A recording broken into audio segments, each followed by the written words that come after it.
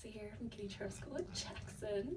So I just gave him an itty bitty sprinkle of catnip and he seems to be very much into it. Is it yummies? um, little grumbly as usual, but it doesn't help that his uh, two door down neighbor is full of grumble. So I honestly think that's what started Jackson up because he was quiet this morning. You stay away from the bad crowd.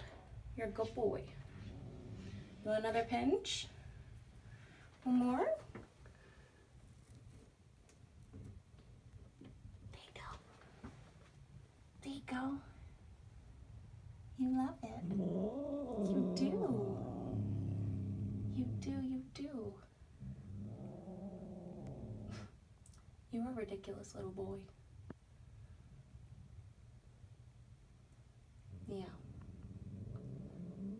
You eat your catnip. Yeah. There's the roly boy. You're a goof. So yeah, Jackson, usual Jackson stuff. Happy we can make him happy with some catnip. Wow! Yes. Kitty mail.